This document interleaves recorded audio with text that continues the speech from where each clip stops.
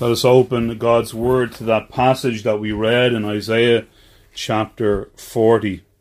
Isaiah chapter 40. Last Lord's Day we considered uh, verses 1 to 8 under the title The Voice of Comfort. And this morning we want to consider the rest of the chapter under the title the God of comfort. In verses 1 to 8, the emphasis was what God says, which brings much comfort to our souls. But in these verses, from verse 9 to the end of the chapter, the emphasis is primarily who God is and what He has done.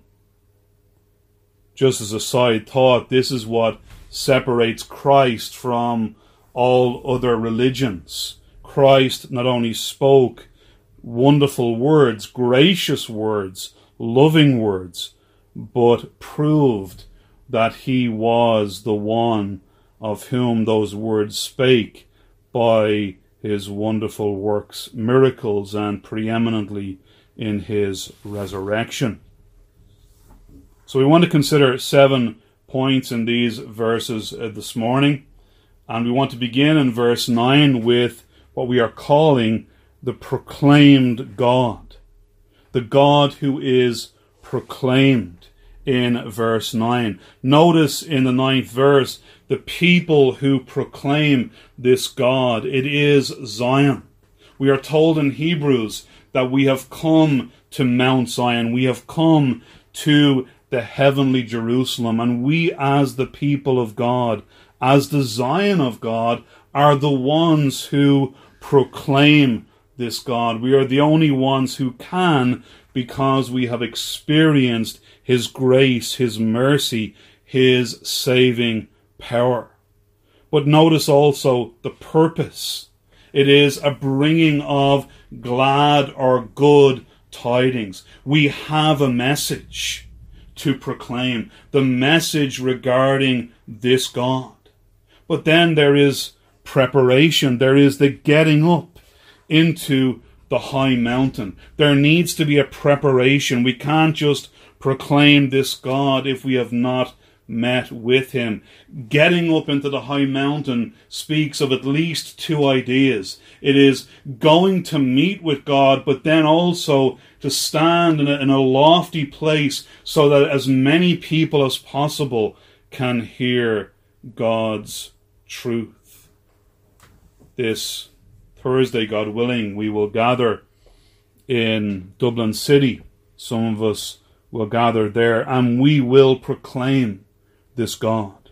We will proclaim the gospel of our Lord and Savior Jesus Christ. And we now are preparing and we will look forward to that time and in the preparation of our hearts. But notice also there is power in this proclamation. It is, O Jerusalem, that bringest good tidings. Lift up thy voice with strength. Lift it up. In other words, the message is of such a nature that it is not to be just mentioned. It is to be proclaimed. This God is to be proclaimed. Be not afraid. Why? Because you speak on behalf of this God. We speak as his envoys, as his ambassadors. Say the, the content of the message then at the end of the verse. Say unto the cities of Judah, Behold your God. Look to God. See him.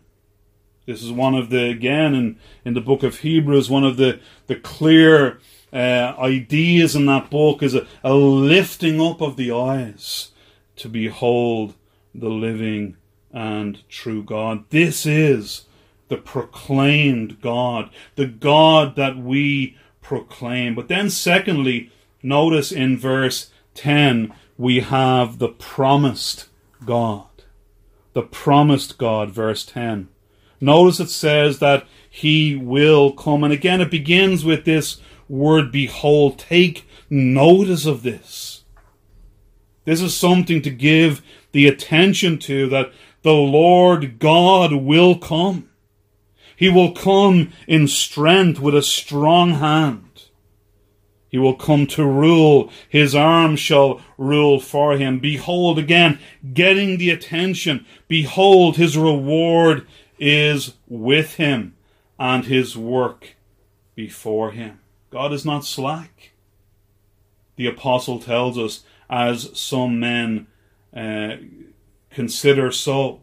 Our God is not slack. He will come. In fact, there's a sense in which our God is constantly coming to this world in saving power, but also in judgment, also in wrath, as Romans 1 verse 18. There is a constant um, revealing of God in both ways in this world. We see God's judgment, but we also see His grace. Psalm 50 has this idea. Our God shall surely come. Keep silence, will not he? And we will sing that, God willing, at the end of uh, this message. So the proclaimed God, verse 9, the promised God, verse 10, and then thirdly, the protecting God, verse 11. He is a God who protects. He as a shepherd, he feeds, he gathers, he carries, he leads. He shall feed his flock like a shepherd. He shall gather the lambs with his arm. The question for us this morning is do we know this God? in this way? Is God distant to us? Is God uh, just some figment of our imagination? Or do we know experientially do we know practically this protecting power of God? Have we experienced, and we'll see this at the end of the chapter by way of application, have we experienced this protecting God? So he feeds, he gathers, he carries. Notice where he carries these lambs in his bosom the love of God for his people. The love of God for his people. Loved with everlasting love. Someone wrote those words based on the scriptures. Loved with everlasting love, led by grace that love to know. This is the God who protects his people, who gently leads those that are with young. There's a gentleness. There is uh, a lovingness with this uh, God. He does not treat us according to our sins, but treats us gently. And then we have, fourthly, in verse 12, the potent God, or the omnipotent, or the omnipotent God in verse 12. Notice in this verse, we have the dimensions of God's power. We have the depth, the width, the circumference, the weight of his power. Various dimensions.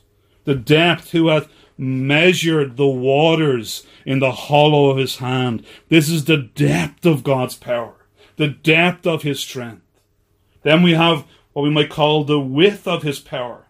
He has meted out heaven with the span, the circumference of his power and comprehended the dust of the earth in a measure. And then the weight of his power. He has weighed the mountains in the scales and the hills in a balance. See, this is the God of comfort. This is our God. He is not only a protecting God, He is a powerful God. So we have the motherly idea in the previous verse, and now the the, the male or the fatherly uh, motif, if you like, in this verse. God comprehends all those wonderful relationships to his people.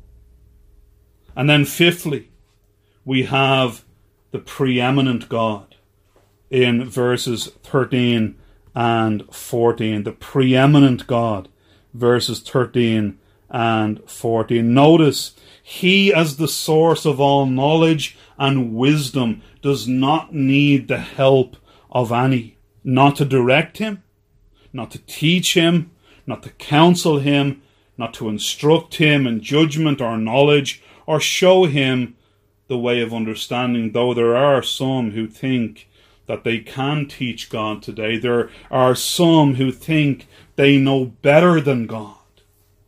But our God is preeminent in all his wisdom, in all his knowledge, and does not need anyone to instruct him. This is stating the obvious, isn't it? You know how ridiculous it is for man to think that he has something to teach God, and yet man thinks he knows better. Man thinks he can correct God, but here Isaiah is saying, who has ever actually instructed God? Who has ever actually taught him or given him any new thought? It is ridiculous. It is nonsense to think such a thing. This is our preeminent God. And then, sixthly, we have in verses 15 to 25 the peerless or the incomparable God, verses 15 to 25. And there are, are four areas of God's peerlessness or incomparability. God cannot be compared to anything or nothing or no one can be compared to him. We have the nations, we have images, we have the inhabitants of the world, and then we have the leaders of the world. And just looking at these four briefly in these 11 verses. First of all, the nations are nothing compared to him, verses 15 to 17. We have the illustration of a bucket. The, the nations are as a drop of a bucket. And imagine if you're uh, uh, washing a bucket or, or using a bucket to wash, and there's just a few drops left in the bottom of the bucket. They're counted uh, as nothing.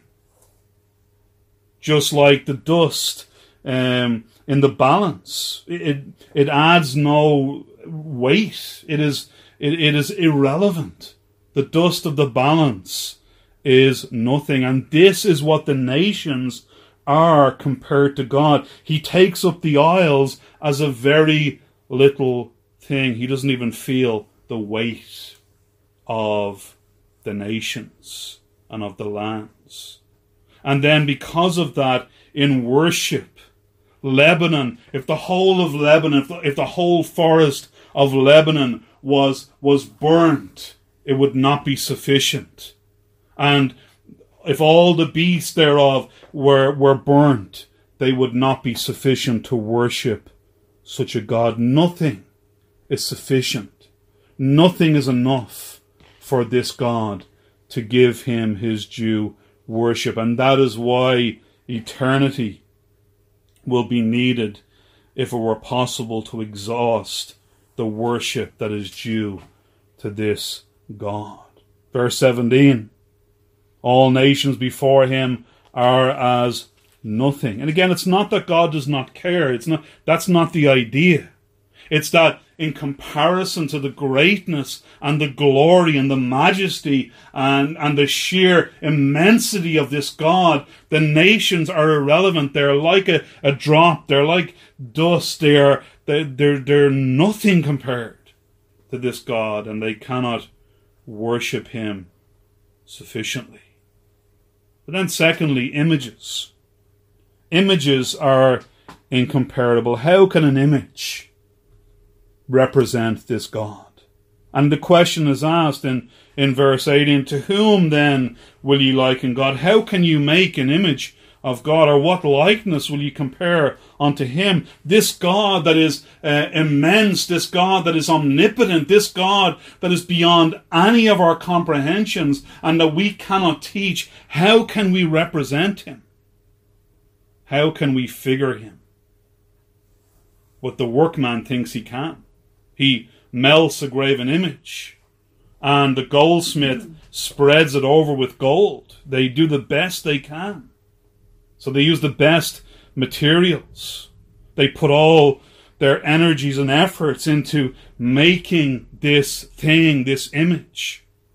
And we can go to many so called places of worship in this country and see statues and images, wooden and stone and other materials, to represent God.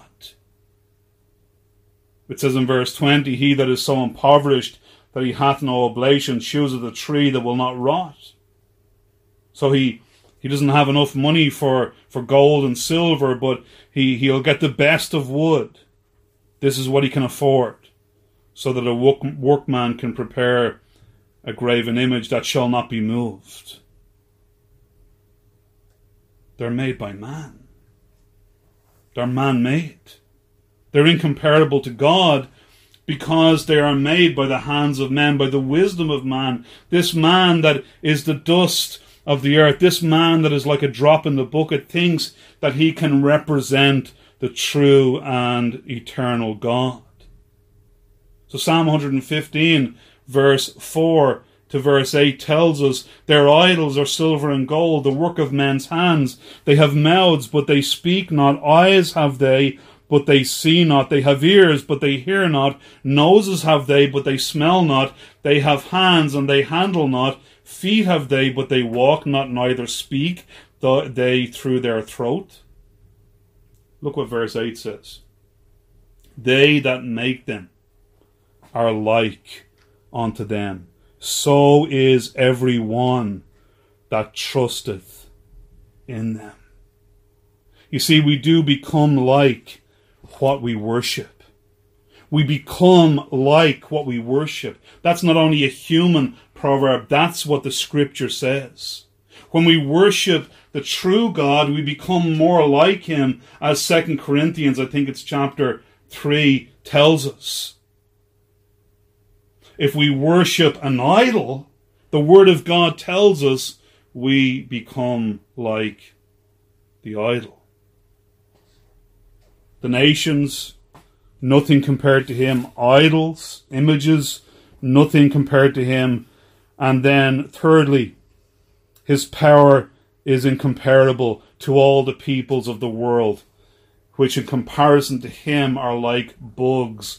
Verses 21 and 22.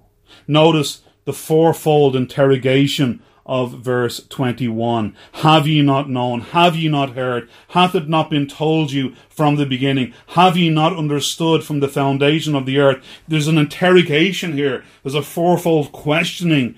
Do you not know this? Do you not uh, understand this? Have you not heard this? That it is he, verse 22, that sitteth upon the circle of the earth, the sheer immensity of God, and the inhabitants thereof are as grasshoppers. They are like the small bugs of the earth in comparison to him. The one that stretcheth out the heavens as a curtain and spreadeth them out as a tent to dwell in. The immense God. The sheer immensity of God but then not just the people of the world, but the great men of the earth are as nothing beside him. Verses 23 to verse 25. Princes are nothing compared to him. Judges of the earth are vanity in comparison to him. Why? Because God is their king and he is their judge. Verse 24 says, Yea, they shall not be planted, yea, they shall not be sown, yea, their stock shall not take root in the earth, and he shall blow upon them, and they shall wither, and the whirlwind shall take them away as stubble. And it comes back then to verse 25, this whole section. To whom then will ye liken me? God lays out the challenge. God presents the challenge whether it be uh, the nations, whether it be the, the work of men's hands in, in idols and images, whether it be the whole population of the world, or whether it be the great men of the earth, none of these can compare to God. And you see, again, let me bring you back to the point of all this. The point is to present to us the God of comfort. Because there can only be real comfort when there is something that is beyond us, something that is greater than us. Don't we see in the the people of the world, the rulers of the world, they're no different. They're just like us. There can be no comfort in their strength and their wisdom. As this, as verse 24 says, they shall not be planted, they shall not be sown. The, the point is that they're, they're like a shifting shadow. They're not stable. The only one who is the rock, the only one who is the refuge, the only one who does not change is our God. Therefore, he's not, it's not just the voice of comfort, it is, is, it is God himself. Yes, God speaks comfort, and He tells us to speak comfort to His people in verses 1 to 8. But now God Himself, in His very person, God is our comfort. God is our refuge and our strength. And then lastly, we have the prevailing God. Three points on verses 26 to 31 on this prevailing or powerful God, we could also say. And we have the evidence, the encouragement, and the experience of his power. First of all, the evidence of his power, verse 26. Lift up your eyes on high. In other words, see the evidence. See the evidence before your eyes. Even as we look out of the window, we can see the effects of the, the sun and the, uh, and the, the plants outside this window. Lift up your eyes on high and behold who hath created these things that bringeth out their host by number. Lift up your eyes to the stars. He calleth them all by names, by the greatness of his might, for that he is strong in power, not one faileth. This is the evidence. See, the Word of God brings us to examine that we have reason for comfort, that, that this God is not a figment of our imagination, that we live in a real world with a real created order, with real stability, with, with seasons, with, with times and years and so on, that there's order and structure to the whole of the universe. So that some people live in constant fear that one day an asteroid or a meteor will hit the earth and destroy the earth. This is because they don't believe in the God who has ordered all things and that nothing can happen outside of his control. So that he is the creator and the sustainer and the preserver of all things. This is the God who brings up the sun every morning, that brings the rain as we have need, that has created all things for to be the evidence of his power and love to his people. This is our God. This is the real God. This is the incomparable God. That's the evidence of his power. But then, secondly, the encouragement to trust in his power, verses 27 and verse 28. Why sayest thou, O Jacob? And speakest, O Israel, my way is hid from the Lord. In other words, why are you hiding in a corner and, and being depressed? Why are you giving up? Why are you being so discouraged? Why are you living your life like an atheist? Why are you living in practical atheism?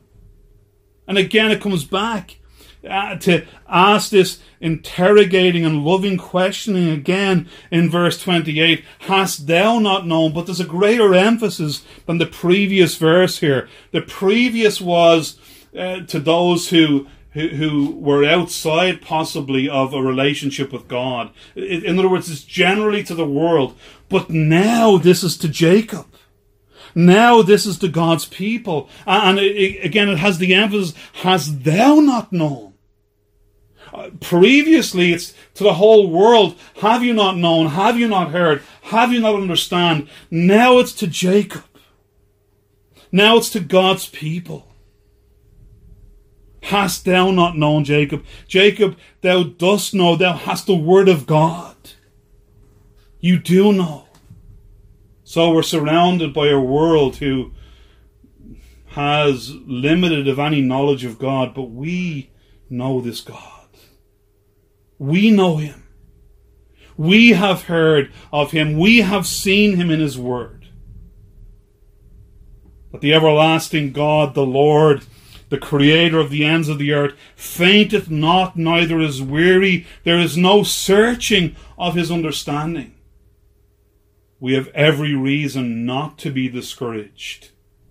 And we have every reason to be encouraged this morning.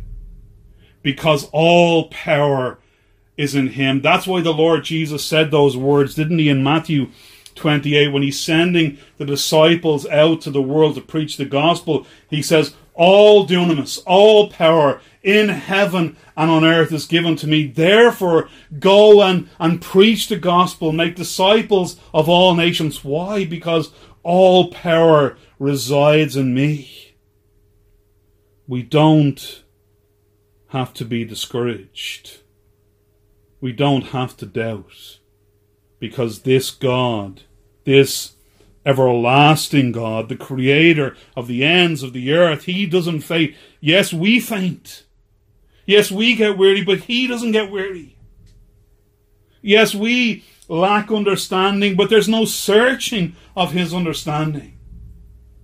It is infinite, eternal, unchangeable. This is our God. The encouragement to trust not in our own power, but to trust in his power. And then, lastly, on this last section, the experience, the evidence, the encouragement, and now the experience. We mentioned this earlier. We need to experience this power. This is not just head knowledge. This is not just confessing some facts. Because this God actually gives power to the faint. How many of us as the people of God have felt at our end. At that very moment, our God comes with his power. Just when we feel that we cannot go on, we cannot take another step, at that very moment, at that very time and instant, God comes with his power to the one who is fainting.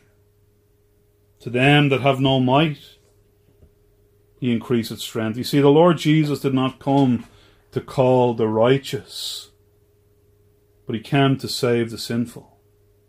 Do you feel this morning in yourself faint? Do you feel that you have no might, no power, no strength? Well, these are the ones, you are the ones that this God comes to give his power, His strength. Even the youth shall faint and be weary. They have limited strength. And the young men shall utterly fall. In other words, they can only go so far. They eventually, we have that story, don't we, in, in ancient Greek history of of uh, marathon, and he, he he runs the the 26 miles to bring the message, and when he when he when he comes, he, he collapses and he dies. A man of, of great strength, of, of great stamina, and yet he drops dead. Even the young men shall utterly fall. But they that wait upon the Lord shall renew their strength. They shall mount up with wings as eagles. They shall run and not be weary. They shall walk and not faint. And it all comes down to that little phrase they that wait upon the Lord. That's the key. That's the key. The God of comfort is experienced when we wait upon Him. Seek the Lord look to Him.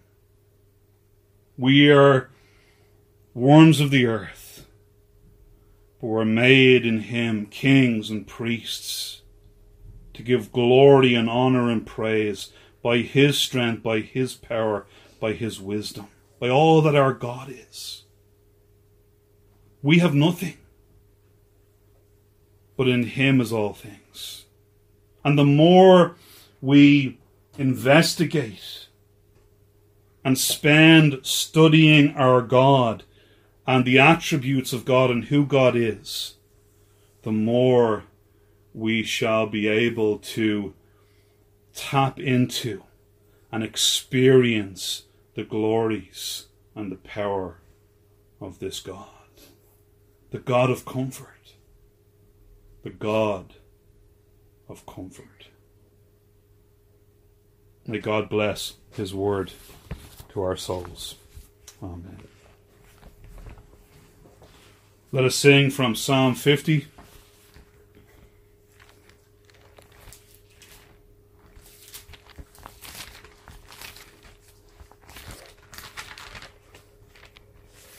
Psalm 50, and we'll sing the from verse 1 down to verse 6. Psalm 50, verse 1 to verse 6.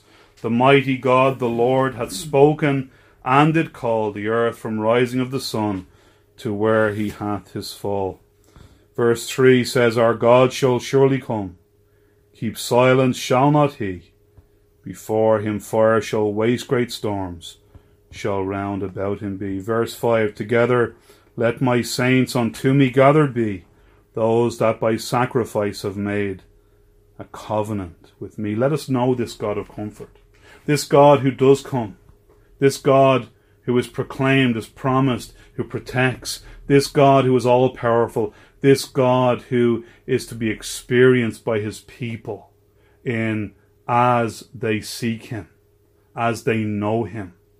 This is life eternal, to know thee, the only true God, and Jesus Christ, whom thou hast sent. Psalm 50, verses 1 to 6, to God's praise.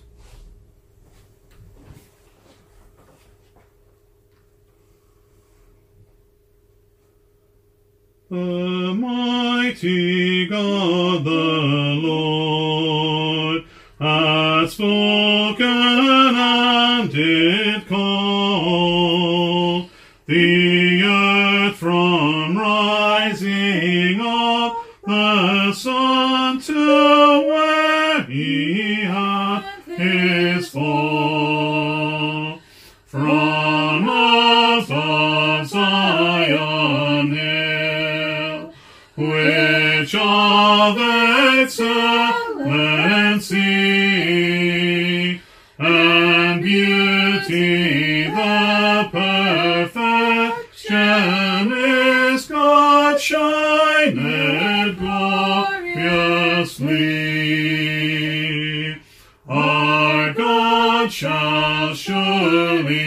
come.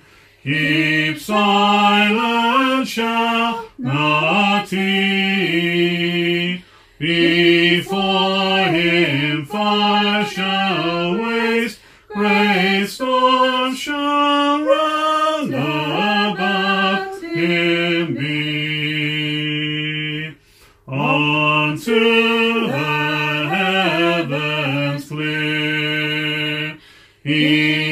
from above shall call, and to the earth likewise that he may judge his people all.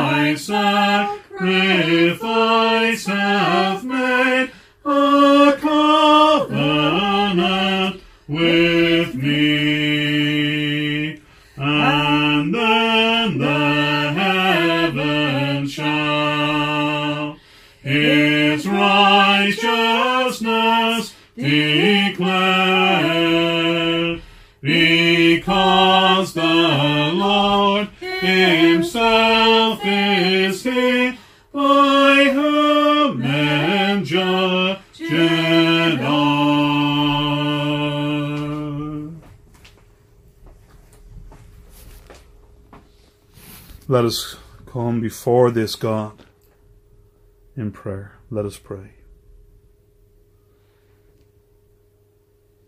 Lord, we simply want to pray as we've considered these verses that we might know Thee.